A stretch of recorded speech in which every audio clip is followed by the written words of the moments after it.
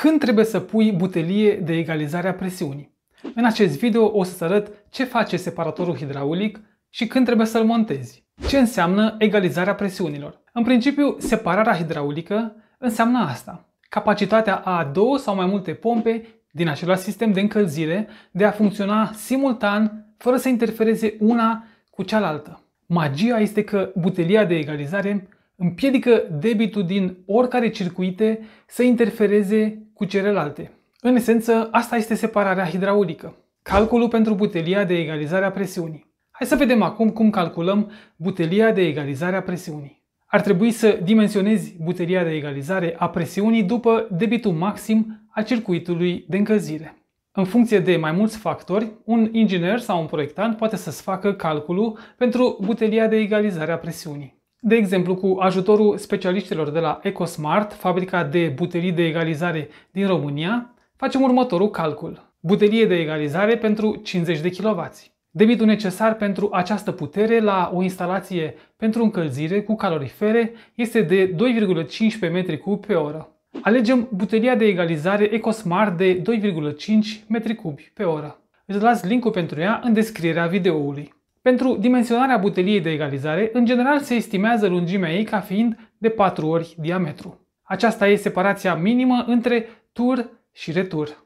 Butelie de egalizare EcoSmart. Firma EcoSmart produce butelii de egalizare și distribuitoare în România la Bistrița Năsăud. Poți cumpăra din stocul lor produsele cu livrare prin curier sau dacă ai un separator hidraulic mai mare, ei pot să-l confecționeze pe comandă. Viziunea EcoSmart este să ofere cele mai bune butelii de egalizare și distribuitoare care se montează simplu și reduc timpul de montaj. Nu vei avea probleme cu instalația de încălzire pentru că ai 5 ani garanție.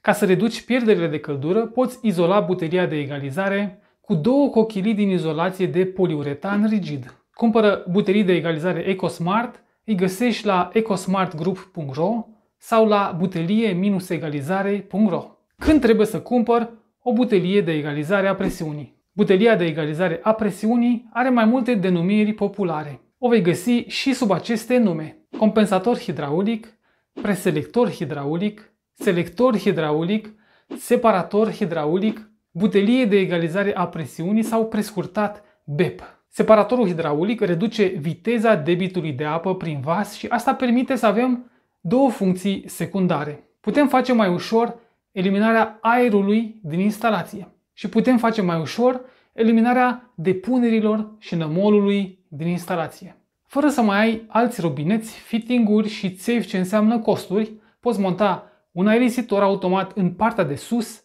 și un robinet de golire sau un filtru cu purjare în partea de jos a vasului de echilibrare hidraulică. Eu am nevoie de un separator hidraulic.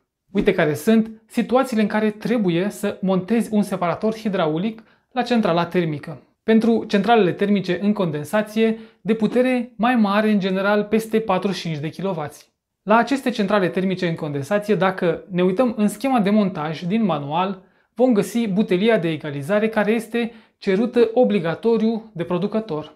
Sunt multe cazuri în care centrala nu are garanție dacă nu are montată o butelie de egalizare a presiunii. Pentru centralele termice montate în cascadă, atunci când avem două sau mai multe centrale montate în cascadă, e necesar butelia de egalizare a presiunii, când avem circuite de încălzire cu variații de debit. De exemplu, dacă avem o centrală termică și încălzim cu calorifere la parter și încălzire în pardoseală la etaj. Circuitul de încălzire în pardoseală are kit de amestec și va avea debit variabil. La distribuitorul încălzirii în pardoseală sunt actuatoare care pot să fie închise sau deschise. Scrie la comentarii dacă mai știi și alte cazuri când e nevoie de vas de echilibrare hidraulică. Schema de montaj pentru butelia de egalizare. În timp ce va funcționa centrala termică și pompele, avem trei scenarii posibile care sunt acestea. Exemplu 1. Debitul din sistemul de încălzire e egal cu debitul din centrala termică. Amestecul în butelia de egalizare este foarte redus. Acesta e un caz de sistem de încălzire echilibrat, unde debitul și temperatura de la centrala termică sunt egale cu cele din circuitul de încălzire. Exemplu 2. Debitul în sistemul de încălzire e mai mare decât debitul din circuitul centralei termice. În acest caz, debitele nu mai sunt echilibrate, iar temperatura din circuitul de încălzire nu mai este la fel ca cea din centrala termică, pentru că se amestecă returul cu turul în butelia de egalizare.